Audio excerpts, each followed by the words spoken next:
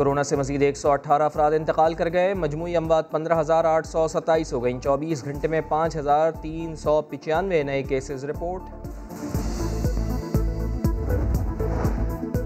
हुकूमत का तहरीक लब्बैक पर पाबंदी का फैसला। वजी अजम इमरान खान ने वजारत दाखिला की समरी मंजूर कर ली। समरी में बताया गया कि तहरीक लब्बैक के दो हज़ार तिरसठ कारकुनान गिरफ़्तार और एक सौ पंद्रह मुकदमा दर्ज हुए। टी एल पी कारकुनान ने कानून नाफिज करने वाले इदारों की तीस गाड़ियों को नुकसान पहुँचाया। पुरतशद कार्रवाइयों से दो पुलिस एहलकार शहीद और पाँच सौ अस्सी जख्मी हुए। सिंध हुकूमत का तहरीक लब्बैक के खिलाफ क्रैकडाउन का हुक्म टी एल पी के रहनुमाओं और कारकुनान को हिरासत में लेने की हिदायत जारी। महकमा दाखिला के मुताबिक रहनुमाओं पर सड़कें बंद करने के इल्ज़ाम हैं। अवामी मफाद में हिरासत में लिया जाए। Chairman Pakistan Peoples Party Bilawal Bhutto Zardari की पुरतशद वाक़ात की शदीद मजम्मत कहा, किसी को सिक्योरिटी एहलकारों पर हमलों की इजाज़त नहीं दी जा सकती। जिम्मेदारान के खिलाफ कानून के मुताबिक कार्रवाई की जाए।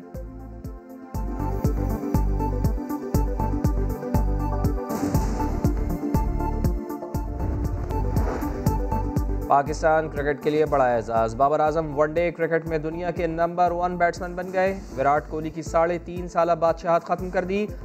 बाबर वनडे रैंकिंग की पहली पोजीशन पर आने वाले पाकिस्तान के चौथे खिलाड़ी हैं।